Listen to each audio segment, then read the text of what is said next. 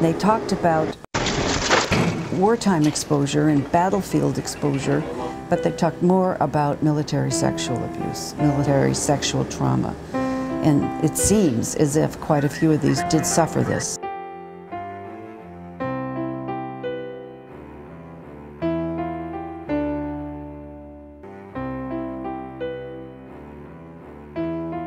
I haven't put myself back together yet, and so any little thing probably, you're just waiting for the bomb to hit. You read about all the horror stories of, of everyone else. You're waiting to be that next statistic that's gonna crack and just go crazy. My life was horrible. I up and down spiral, mood swings, nightmares, constant nightmares, um, bad anxiety problems. Couldn't keep a job, couldn't work with men. I just, it creeped me out. My bedroom is, as weird as it sounds, off limits to me. I tend to sleep on the couch because I don't feel safe in my bedroom, if that makes sense. I understand it may not make sense to people. That's just, it's in my head. My doctor said I'm okay. It makes sense to her.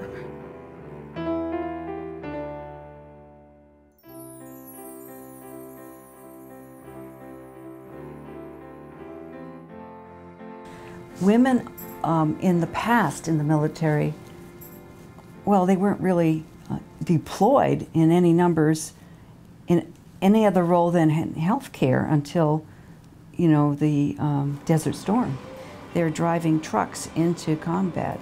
They're um, mechanics. They're flying uh, helicopters. They're certainly exposed to wartime um, tragedies and disasters and you know, uh, terrible injuries and death and seeing children die.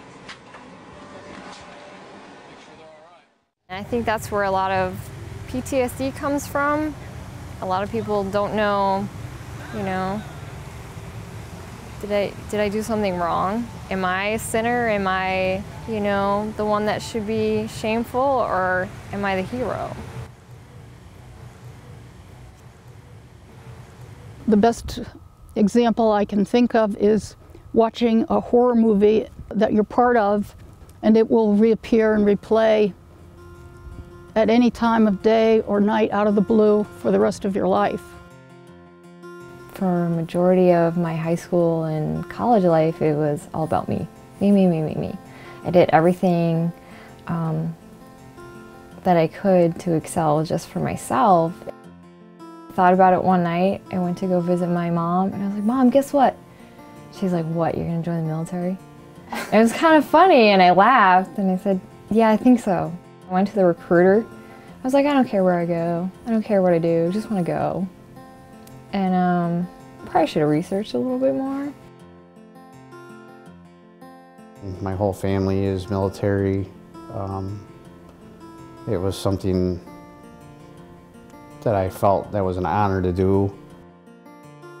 In boot camp, I was a baby. Everyone, it was like a big family, and I was the baby of the family, and everybody helped me so I could make it through boot camp because of my age and my being so naive and not knowing how to do a lot of things. Appearing on to the ship and meeting these people is like, oh, okay, you know, this is what life is going to be like. You know, these people are going to be my family.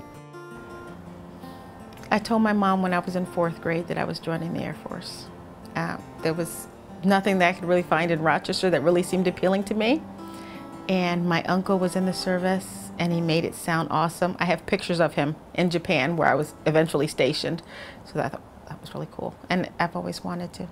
I saw it as a chance to see the world, to get a decent education, and to make some memories.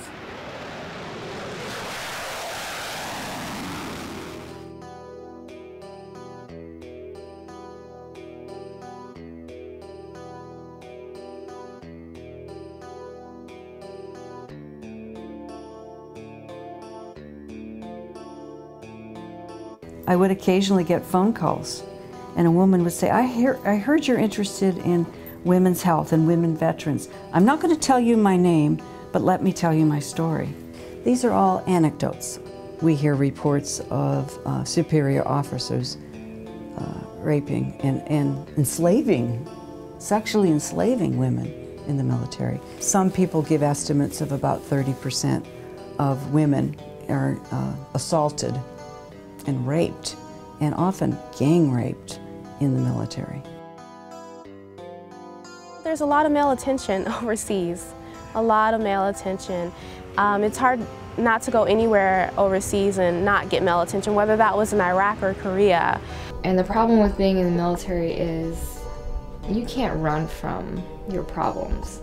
You know, you're, you're constricted to a 100 mile radius. You know, you live, work, eat, sleep with these people.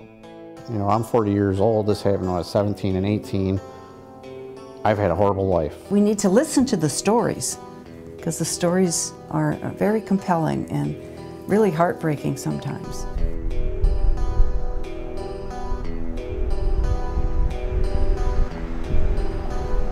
I showed up on board and was told that I didn't have to technically be on board because it was a holiday weekend until that Tuesday because there was nobody in there to log me in and so they took me to a place where I could put my uh, sea bag and a group of gentlemen, fellow shipmates, said that since I had no place to go, I can come hang out with them. They were going down to New York City and they were going to hang out there for the weekend and that I was more than welcome to come with them. So that's what I chose to do. I was 17 and having older people want you to hang out with them is always, as, as a 17 year old, it's cool. It makes you feel like, you know, all right, you know, you're the man. Ended up doing some mixed drinks and that there and I somehow passed out. I don't know why, because not like I was a drunk at the time, but I ended up passing out. And I woke up with a gentleman standing above me masturbating, and another person was pulling my pants off with his clothes off. And it, it freaked me out. I got right up, ran into the bathroom, and I just kept washing my face. I, you know, I, I, I've never experienced this. I didn't know what to do. And they kept knocking on the door. Oh, we're only playing with you. It's a joke. We're initiating you. This is what we do to all the new people. And I was creeped out. I stayed in the, for a couple hours in the bathroom. Finally, they talked me out. I stayed awake the rest of the night. And I left first thing in the morning. I got on a bus and took a bus back to the ship. Reported exactly what happened. And they told me I was a liar. I just wanted to go back home. I was a mama's boy. And I, I kept, you know, went from person to person trying to get someone to listen to me, and nobody would listen. This is a family. You don't do this to your family members. This is inexcusable and it really wrenches at our guts when we have these kind of individuals engaging in this kind of criminal behavior. About a year ago, I saw in Ms. Magazine, I saw a little blurb just announcing that this lawsuit was going to be filed against the Department of Defense related to their the epidemic of rape in the military. I got in touch with the attorney and I got in touch with people working with her, and then through that, got in touch with some women who had been victims of this. And then that led to it opened sort of Pandora's box. There's a lack of will. There's a lack of political will on the part of the leadership of the military. You know, if you think about the military's job and military readiness, they, they should have tackled this years ago. We have a problem. We have a significant problem. We have about only 14% of the people that have been sexually assaulted to come forward and say they have been sexually assaulted. And because it's one of the most underreported crimes we have in the military and in the civilian sector, I think it's safe to assume that there's probably about five times more than that that have come forward every year than were reported.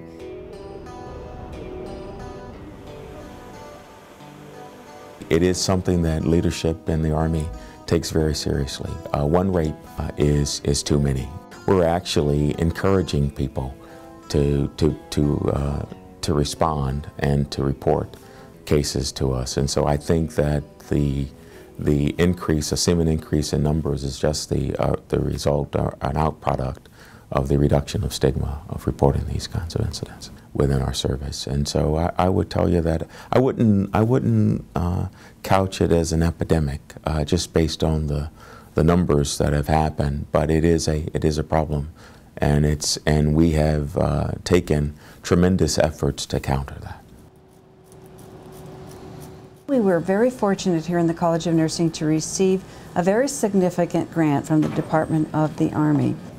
So we designed a study as part of the Restore Lives Center here at the College of Nursing to study the health of women veterans.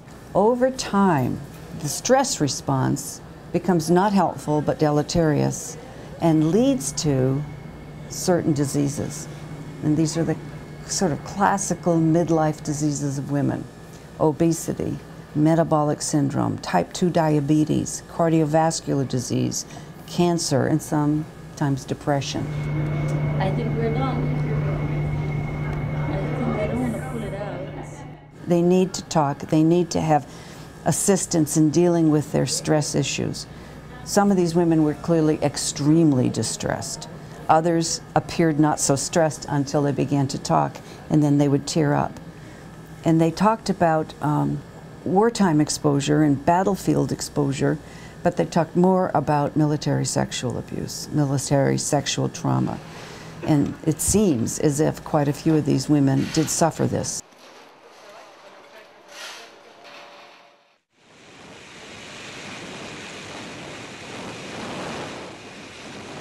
Was an aircraft mechanic. There aren't a lot of females in that career field. Um, I was actually the only one in my flight, even at home station. While I was stationed in Saudi Arabia, um, there were people, obviously, planes rotated in and rotated out on a constant basis. We all went, we were playing Phase 10, which was a game that we all started playing there for some retarded reason, but every other night we were all playing Phase 10. So I go into the bathroom, not thinking anything of it. These are guys that I've hung out with for, you know, the entire three weeks that they were there. And they were actually getting ready to leave. And not even in days. And on my way back out, one of the guys stops me and I'm like, what? He goes, oh, I just wanted to show you, you know, some of the stuff that we just got and da da da da. And I'm like, okay, whatever. So we're standing there and we're, I'm looking at some of the stuff that he got, some of the stuff that he's taking home to his wife and who he should see in, you know, days. I said, well, I gotta go. I said, uh, we gotta get up, we got work tomorrow, da da da da. No, no, no, no. He blocks the door. And I'm like, you know, move, come on, stop joking around, da da da da. I'm like, I'm not staying in here. I said, the guys are in the other room. I'm headed back out that way, and then I'm going home. Is big guy, strong guy. I, I never made it out, but um, he raped me. Um, kindly left me with a couple of diseases. I ended up going to the doctor after a while just because I'm like, okay, it hurts when I pee, this hurts, that hurts. I went back to the States. Uh, gosh, three weeks later, I was on my way back. So I left. And unfortunately, when I got back, it was, oh, Lori's a whore. Lori did this, Lori did that. And Lori's like, Lori didn't do anything. Who was saying that? Um, some of the guys I work with. And I'm like, uh, no, it wasn't me. It wasn't like that. Um, but I didn't. I didn't say he raped me. I never told anyone um, at that level what had happened.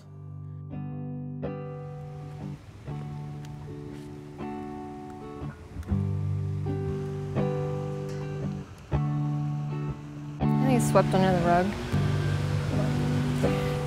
I think that a lot of females that were to come out and say, well, Sergeant so-and-so did this to me, or Sergeant so-and-so did that to me. It's not really, it's not as punishable as, as if they were to get caught with a DUI. No one in their company wants to acknowledge that, yes, this happens. Um, so I think a lot of it is just kept quiet. It's, it may be dealt with saying, did you do this? No, I didn't do it. it it's like he said, she said. I've never seen any stern action taken against it.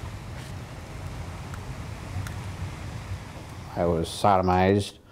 I had people trying to rape me. I constant beat, constant robbed. You know, I'd come in there bloody and beat up, and they told me I was a liar and did it to myself. and I just wanted out of the military. And that's what I dealt with. Every single time the ship was getting ready to leave port, I knew that if I was on that ship, I had nowhere to go. So I would go AWOL just to avoid being raped. And it got to the point where these guys were getting so upset and, and having so much fun with this that um, time I was taking a shower, they yanked me out of the shower, beat me down, and you know, you gotta understand, I was 17 years old. I weighed about 130 pounds. This is me at 17 right before I went in. And I fought, but against three guys, there's only so much fighting you can do. And they beat, literally beat me up, put me to the ground, shoved a toilet brush cleaner handle up in me, and raped me with it repeatedly until they got bored with it and then left me there. And I put my clothes on, went to the doctors, reported it to the infirmary, and they told me, well, you probably got hemorrhoids and it's from sitting or something. Take the rest of the day off, use this preparation H, and you'll be fine. Then you keep after seeing these people and, and they go on with their daily life like nothing ever happened and, and you're left with the void of what just happened to you and, and no justice for it. Uh, actually, I've never heard of someone going to jail for rape in the military. Honestly, I haven't. I've seen cases that court-martial, punitive discharge, imprisonment, down to, let's say, a wrongful sexual contact, the groping, where a commander could give what's called an Article 15, which is a military justice option, uh, where it uh, does maybe not rise to the level of a court-martial, but as a commander, I have had Article 15s where I have used them where I have demoted people, I have fined them, and I have used that as the trigger to remove them from the Air Force.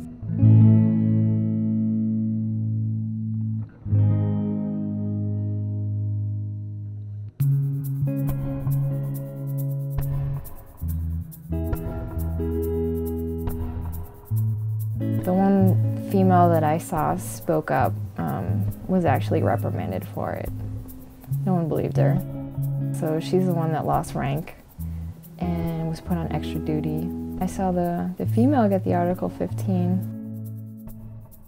I remember when I was going through training, that's the thing, we always had to have a battle buddy with us at all times. Even when talking to um, our leaders, because sometimes things happen when you're by yourself and you're talking to someone who's uh, your NCO, and it's always good to have that extra person there, just in case as a witness.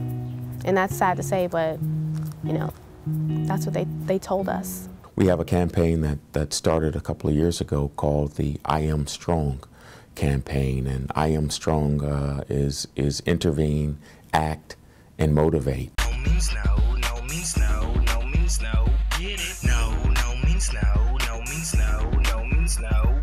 I think that uh, we've, we've started a pretty aggressive program in 2008, uh, which is our sexual harassment and assault response program. And as a result of it and the campaign that we've had to get the word out, uh, I think we've had uh, more people uh, report incidents uh, of rape or sexual harassment and the like. And so I think that, that it's been there, but it's just now coming to light. And we have a, an anti-stigma campaign that's going on that's making it uh, easier for people uh, to report.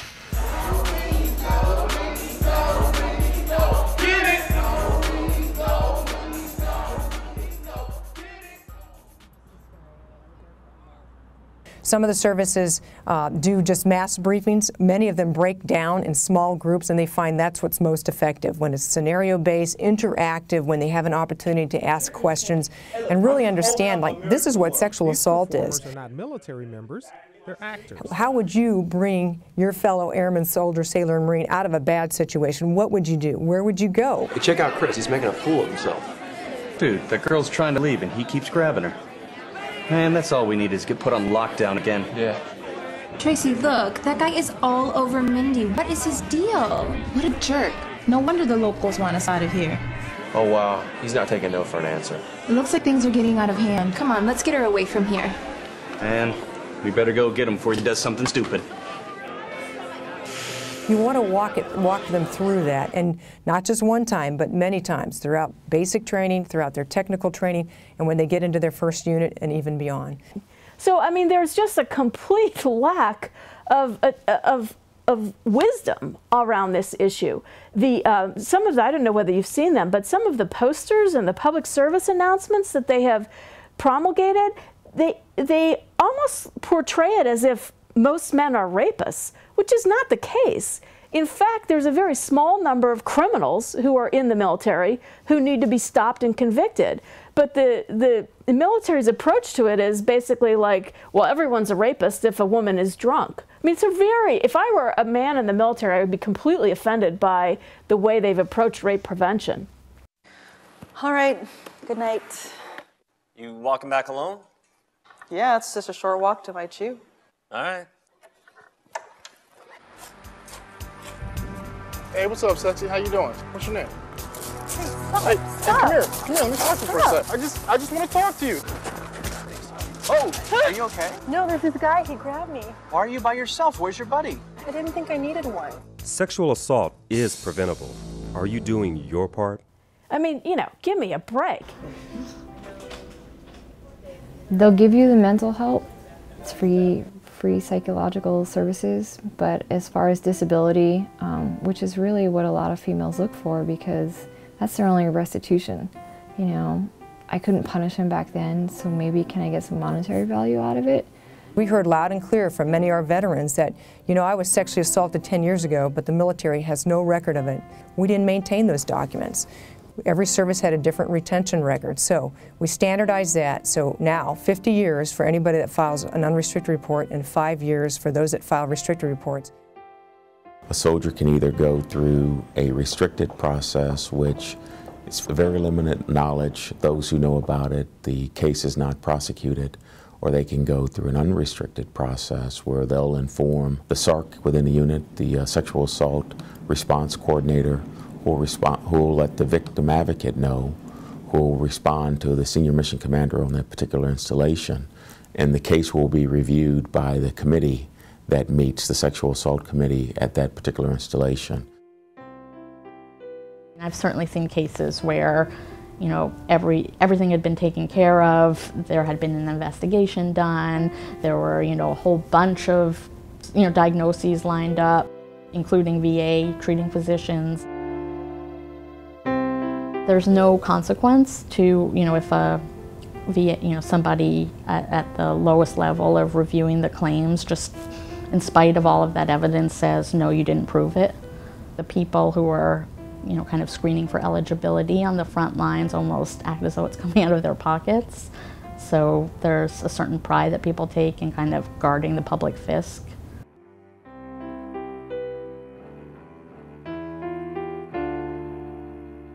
I began to research the subject, and I was really appalled when I found out not just the rate of the rapes and sexual assault, but the dismal conviction rate, just dismal.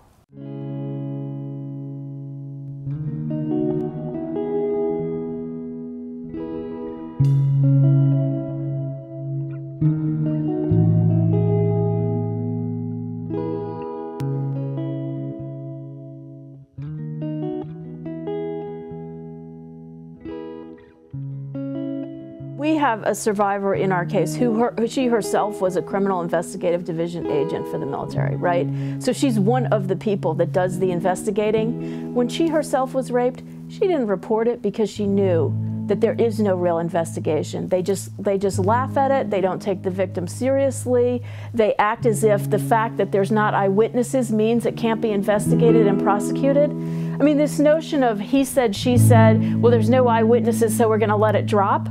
That's ridiculous. It's hard to prove.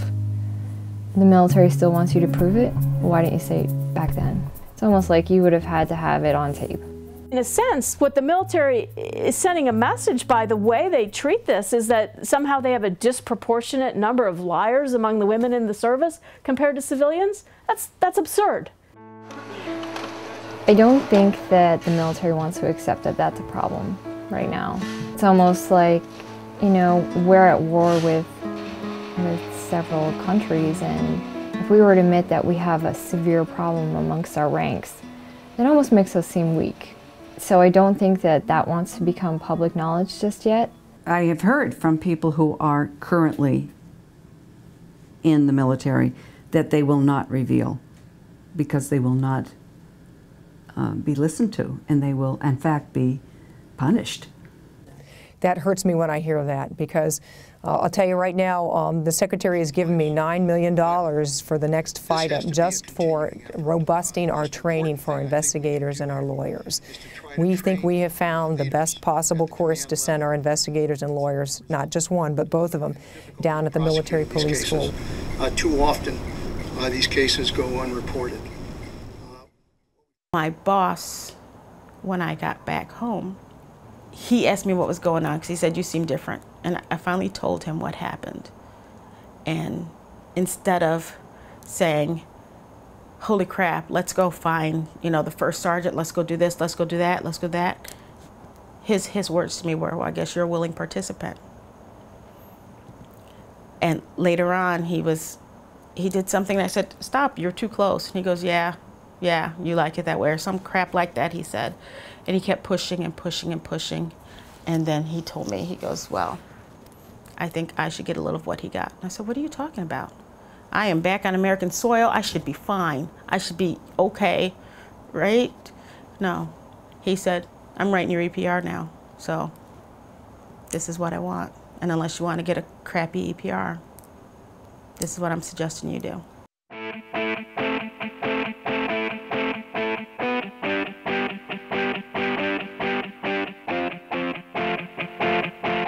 In the Air Force how we get promoted. If you get a crappy EPR, you'll be stuck. There's a lot more men with higher rank than there are females. Um, so it can happen amongst your teammates, your platoon members, um, your chain of command. If you are assaulted by your commander, you should be able to change companies you know, um, not have to kind of, or, or even change posts. That, I would say, was a valid complaint up to December when we initiated our expedited transfer policy. And that was another reason why we did this, to get more people to come forward. Uh, if you are in an organization and you've been a victim of sexual assault and you made an unrestricted report, you can go to your commander and say, I can't, be, I can't stay here. This is just untenable for me. I can't stand to be in this unit. Uh, and that commander's got 72 hours to say yes or no to your request to be transferred out of the unit or even off of that installation.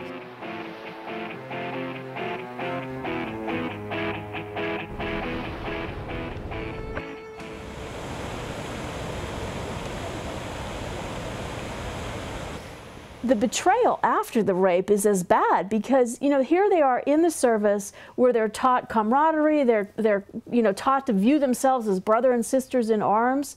And yet when they're raped and they go to report it in they bring it forward to their command their careers suffer.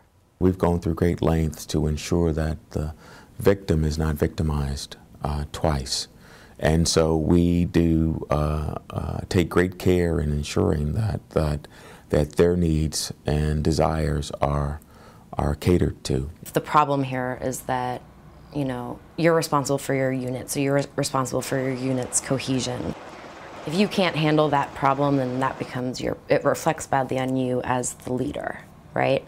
So a lot of people who are in charge, you have an, there's actually an incentive to make it go away, to sweep it under the rug, to um, you know ignore people's complaints because then that makes you look better, makes your unit look better. If a commander is sweeping this under the carpet or not addressing this, that is a violation of our policy and that commander should be relieved of command. The issue of uh, process and how long it takes, uh, that's, that's situational based on the, the evidence that's, that's available. It was either I was going to kill myself one way or another or I had to leave. So I called my family and they told me, you know, come home. Let's, you know, come home, we'll see what we can do. And so that's what I came home. and I met with a Congressman Sherwood Boehlert out of Utica and told him my story. And he said, don't go back until I tell you you can go back. You know, try to stay out. He says, you know, I'm not supposed to tell you this type of stuff, but, you know, for your own safety, don't go back. And he did an investigation on it. And while he was doing an investigation, I was hiding out on the streets because I didn't want my family getting in trouble. I ended up getting arrested and put in jail and waiting to get transferred back to the military. And while I was gone, two of the guys got caught raping another person of the six people that were attacking me. See, the guy was investigated twice, 87 and 88, for homosexual behavior. Their belief is that because of my age and that I didn't, you know, his feminine mannerism, I was confused. I think men have a lot, just a much more difficult time with it because there isn't that and they live with this sense that it's their, they brought it on themselves. Um, a lot of them go into periods of deep depression and thinking that, you know, and, and questioning their own sexuality as well. Um, and I, I just don't have quite the same, you know, sort of skills or equipment to, to move on from it. I went to the brig and the brig asked me why I went AWOL. I told them why I went AWOL. Within 24 hours I was released out of the brig. They told me I didn't belong at the brig. And they sent me back to the ship and things were worse when I got back. Because now I'm known as the rat, the, the you know the tattletale, and I didn't get in trouble for being AWOL because the command knew I I was AWOL and that they oh anytime anything happens come and tell us we'll protect you. But every single time something happened I went and told them they didn't believe me. And there was no protection at all because I'd almost thrown off the back of the ship the fantail. It's well known, it's been documented, that good, strong leaders, commanders in the military who draw a line markedly will reduce the incidence of sexual assault in the military. He came to me because he said he could tell that there was something wrong. And when I finally did tell him what was going on, he used that information against me. He would touch me in public, and then eventually we are at this Fourth of July picnic, and he had arrived there with his wife and his brother, who was Army. He goes, I need you to give me and my brother a ride home. And I'm like, well, where's your wife? Wasn't she just here? Now she had to go home, take care of the kids, blah, blah, blah, blah, blah. I'm like, I don't even know where you live. I'll show you. But I had stuff at my apartment that I needed to get. So I'm like, no, because I still got to go back to my apartment before I can go back on base. Oh, we'll just ride along. I said, whatever, fine. So we drive out to my apartment. I go, I said, okay, I'm just gonna run upstairs. No, I wanna see where you live. He goes, I'm your supervisor, I should know where you live. I went in my bedroom, grabbed a bag, started packing the stuff I would need to take with me, you know, to get to work, to get ready for work, so I wouldn't have to go get anything else. And I was in my closet reaching for something. And you know how you can feel someone behind you? I turn around, he's, he's right here. He's touching me. And I'm like, go away. You know, what are you doing? I said, you go back and finish your soda. I'll be done in five seconds. He goes, no, you won't. And he pushed me on the bed and he started taking my clothes off. And I'm like, stop it. Your brother's in the next room. You know, my roommate should be home any second. Stop. I screamed. No one came. I'm like, why is his brother not coming in here to help me? Well, his brother was in on it too. Um, I was relatively defenseless. It was just me and two guys. And one guy's this big Army guy, and one guy's big for Air Force guy, this big Air Force guy. So they both took their turns and did whatever. And they're like, okay, fine, take us home now. And I'm like, seriously? So I took them back to their house. I went back to my dorm room and I showed back up at work Monday morning and I did my job. I mean, some of the stories are just phenomenal. It's, you know, women having to salute their rapists every single morning or submit to like full body um, checks or serve coffee. They want to do this for their lives. Or they want to go to college with it. They have these sort of, you know, really admirable, noble goals associated with it. And then what happens is they're then assaulted, have no recourse, or frequently diagnosed as having a personality disorder and then dishonorably discharged. Then they have to live with that on their record. They don't get the benefits that they're supposed to. They often don't get the college credits or like, you know, the college funds that they were supposed to. It's just, um, yeah, and they never, that's not what they signed up for. The system is so dysfunctional that they are not getting the, the, the, rights to due process, to equal protection that you and I as civilians enjoy.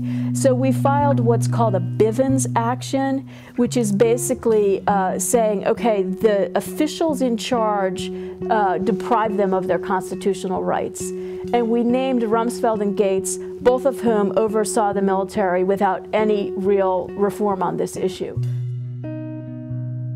We have now gone through the district court process and we lost at that level, so we're appealing it to the Court of Appeals for the Fourth Circuit. The real issue is that there's this Supreme Court ruling from 1950 called the Feres Doctrine that prevents anybody from suing the military for any kind of injury that was that happened to them when they were on active duty. We could do it. To my mind, it was that judicial act some years ago in the 1950s that has been part of the problem here. Because if you go back in time and you think of having uh, women and men who were harassed and assaulted in the military, had they been suing this in the same fashion as you saw women who were sexually harassed in the private workplace, I think it would have that we wouldn't have the problems we have today if they were an active duty soldier when it happened, they can you cannot hold the military accountable. And it's been tested a bunch of times and it's quite strong.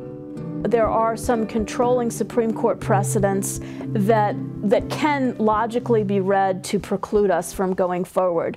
There's a, a, an older case in which the Army gave soldiers LSD without their consent, and the Supreme Court said, no, you can't, you can't sue for damages for that. They came in to give me the injection. They told me they was going to give me this injection. I, uh, I questioned it. What is this for? They don't want to lose it, and that's because, you know, their fear is that if if it gets cracked at all. The next, the extreme of that is having a soldier on the battlefield turning to his commander and saying, no, I'm not going to do what you asked me to do. I think you're wrong. I'll sue you later. Military sexual trauma seems to be increasing in the current conflicts over other war um, experiences. Some people suggested that it's related to the the way the military houses individuals. Um, some people talk about power relationships su between superior officers and troops. There are men, uh, just like there are women who are insecure, and those are the men I think you have to watch out for because they will need to prove to you that how big and powerful they are. All I can say is the men that did it are sick and twisted because I, I, you know, everything I've heard from all the rape victims that I've met is they didn't ask for it. They, they, you know, just because I go out and have a drink with somebody doesn't mean that means I'm having sex with you. There's a lot of um, demoralization um, for people that don't think that they might not live to see tomorrow. It, they live in the moment you know, and so um, there's a lot of adultery that goes on. There's just a lot of, a lot of kind of crazy, chaotic um, things that you really wouldn't see in day-to-day society. There is not a culture of, of rape and assault within the military. Uh, uh, it's just the opposite. It's a value-rich, value-laden organization and, uh, and when we find uh, situations or folk who are outliers within our service, uh, our system, our legal system, takes corrective action, and we hold those people accountable. We have an all volunteer army and we're stretched too thin, and that nowadays they keep people. I had a patient who's schizophrenic. She had psychotic episodes every so often, intermittently, and I talked to her commander and I explained that this did he understand the medicine that this woman was taking and why she was taking it and or what her symptoms were and she was sent to Iraq with a gun. Over half our forces are taking psychiatric medicines, several at a time, not just one. They are so depleted, so exhausted from multiple deployments and from deployments that last a year and a half at a time. They're just, there's nothing left of them, and they have to go back, and they couldn't do that without these psychiatric medicines. But the same thing with PTSD, you know, they know a lot of soldiers are coming back with that problem. And in your desensitizing, they, they want you to raise your hand to say, who thinks they have a problem? Well, no one's going to sit there and raise their hand in front of a whole slew of 200 people and say, okay, well, yeah, I'm one. You know, I mean, they take on the wrong approach. Um, they need to get a little smarter in their strategies as to how, how to help these soldiers. I think that people are far away from home, so they don't have the support system um, that they do in America with their family and their close friends, and they're in a foreign country.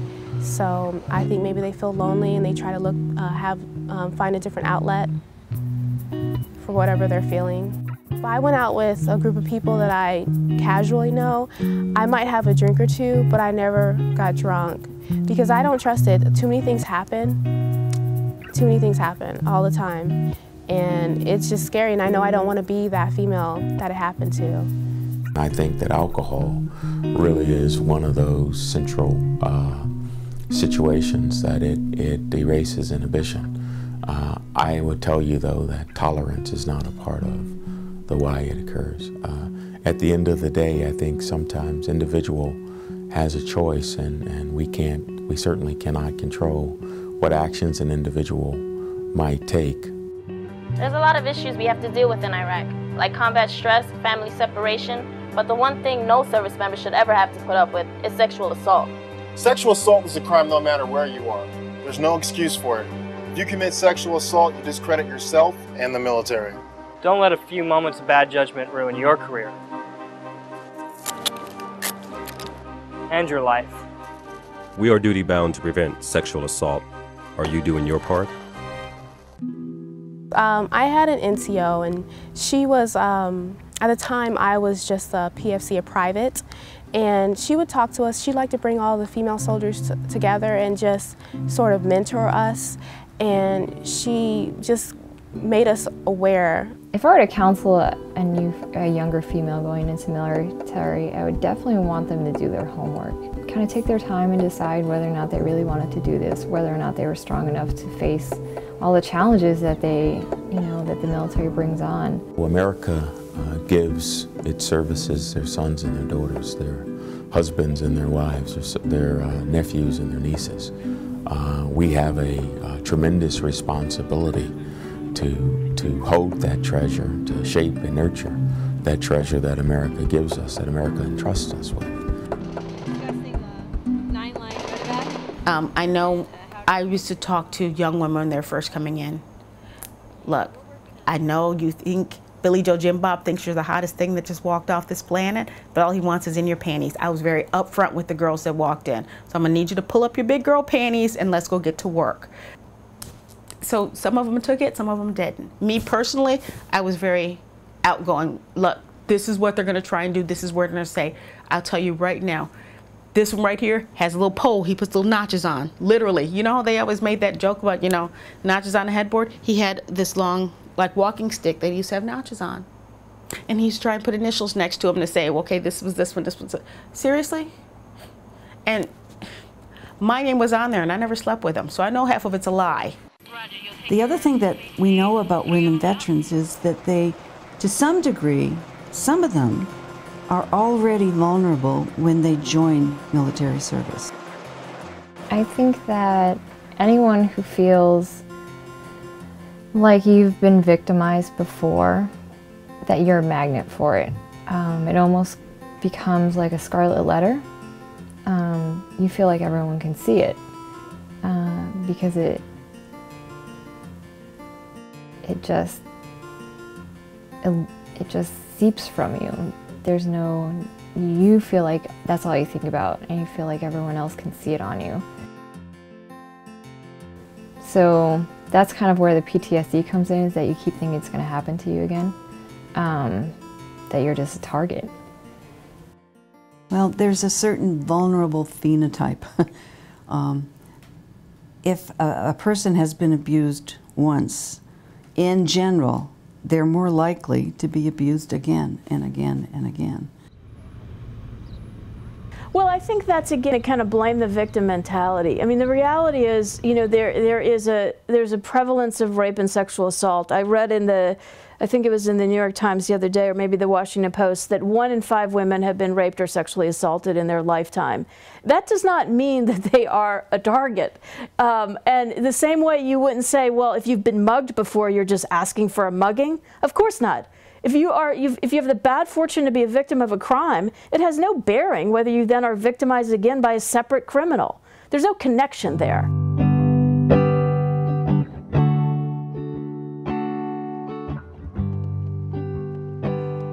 One of the things I've learned in the service is you could put a uniform on some person that does not make them righteous. So I could tell you all day long not to do something. But if that's what you want to do and that's what you think you have the right to do, then you're going to do it. The military is a microcosm of our society writ large, and so uh, kids who come to the military are coming from all types of environments, and so sometimes the, the mores, the norms, the values are, are kind of counter to what the values and the mores and the norms that we will inculcate. Well, we see it in the prison population. It's rampant. It's a crime of opportunity. Um, if if you don't have a lot of psychosexual differentiation and development, or sophistication, um, you resort to what's available, putting it bluntly. It's the only job in the world where your boss is telling you to run towards a bullet or to, you know, put your life in danger in a very direct way. Hey, 3 o'clock, 3 o'clock. Maybe that partly that, you know, times of high stress like that and violence around you, something very strange and dark happens. Some people talk about resentment against women being in the military. We don't know the reasons why. Hi, I'm Sergeant Major of the Army Ray Chandler, and I want to talk to you about sexual assault. Sexual assault is a crime. We cannot trust the military leadership to clean up their own act on this issue. Listen to the victim and take the allegations seriously without asking the victim for details. It has been studied and studied and studied and studied. And they do not contest that it's a serious issue, that the rates are high, that the conviction rates are low. There's not really a debate about the facts. Do not make judgments about the victim or the alleged offender. And there shouldn't be because they keep studying it. What they fail to do is take any action after they've studied it. I think we own this problem. We need to fix this problem. When you give discipline, uh, as a commander, you know, you're responsible for everything in that organization, for the safety, the, the welfare, the morale of that unit, and you're responsible for the discipline too. So it's, it's personal between you and that individual that you have to discipline. If you take that out of the hands of the commander, then it's almost discipline by proxy.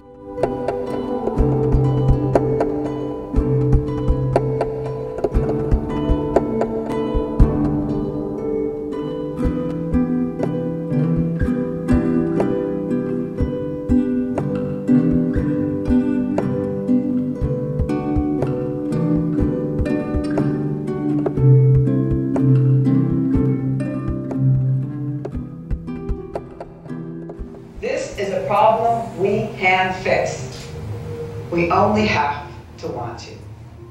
Help us protect our defenders. It's my hope that the sustained media attention, the lawsuits, the legislative efforts by Jackie Speiers and others, continued focus so that we actually get a result. Attention alone will not do it. I just recently went to Washington, D.C. to try um, getting a bill passed, the STOP bill with um, Congresswoman Speier from California. It's to help our future generation not have the same problems that I had and other people like me, where they can report it and be safe reporting it, not be the ones that, not the ones that get in trouble. I'm opposed to the STOP Act. If somebody comes to me as a commander and says, I've been assaulted, I have no choice by DoD policy than to take it to an investigative organization and have it investigated. And those investigators don't work for the individual commanders. I think a lot of people are under the impression they do. They do not. They work through a separate chain. So there's really no conflict of interest there. I try to be fairly grounded um, and realistically, this is a problem that has been tackled time and time again in the past. There hasn't been the change that's needed. I mean, I've only been at it about 18 months now, two years. And I think, you know, given we've made a little bit of headway, but there's so much, you know, it's going to take, it's going to take time. Change is going to come from a lot of different directions. It could be that legislation happens first. The military is afraid of like this one extreme wherein they no longer have control of their, you know, the lower level soldiers in their ranks. The other extreme that you can take it to is like, okay, so what if really the, the military can actually act with complete immunity, do whatever they want, not be held accountable for anything that happens to their soldiers or anyone else. I mean, that's also a really frightening thought.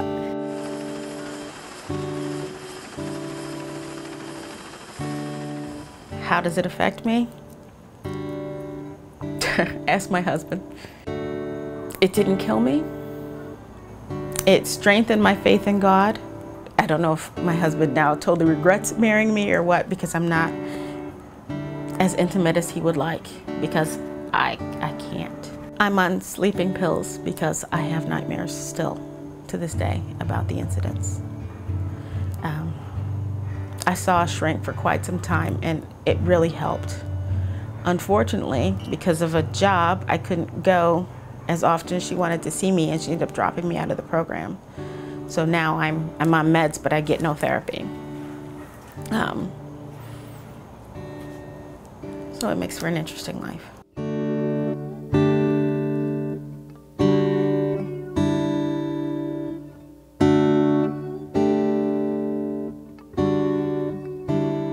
Have you told your kids about all this? Oh yeah. 20 year old, when he gets mad at you, throws it in your face. My 17 year old doesn't know how to take it. He still to this day, he's, you know, Dad, don't tell my friends. Well, yeah, I'm not gonna tell your friends, don't worry. you know, kind of embarrasses them. I can't hold this in no more. This has eaten me alive for so many years and I've seen what I've destroyed. You know, I got poor relationships with my children because of this. It's not an easy road, but it's helped me because I don't feel as burdened.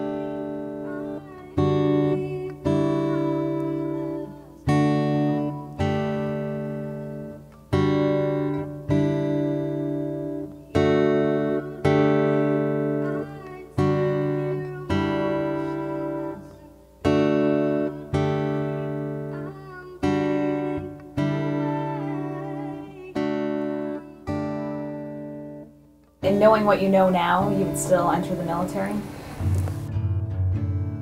I would still enter the military. Um, Would you let your daughter? no, I would never let my daughter. That is the one thing that her father and I have told her because she wants to be a soldier just like her daddy and her mommy. And we told her, no way, you're never going. I don't talk to her about anything that I've been through. Um, she knows that mommy and daddy met in the military, that mommy used to be a soldier, but that's all she knows. And I'd kind of like to keep it that way. I kind of went back to feeling vulnerable, feeling like that little lost American that, you know, I just go on with my life. No one really knows what their true purpose here is, so if you feel something, you gotta go with it. You know, I went in there thinking I was gonna be this hero, I'd change the world. You know, I'd save everything, and then you get there and you realize you're like an ant in in a dinosaur world, you know?